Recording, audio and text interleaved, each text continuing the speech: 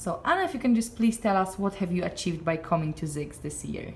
Um, an elimination of lower back pain. Perfect. And how do you feel about that? Great. Great. and what has been the knock-on effect as a result of attending?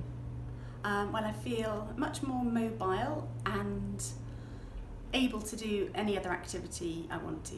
Perfect. And how has it influenced the bigger picture of your life?